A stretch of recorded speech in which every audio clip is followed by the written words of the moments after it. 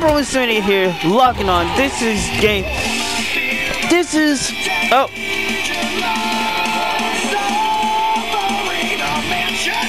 It was the last game. It was the last game, guys. Alright, guys.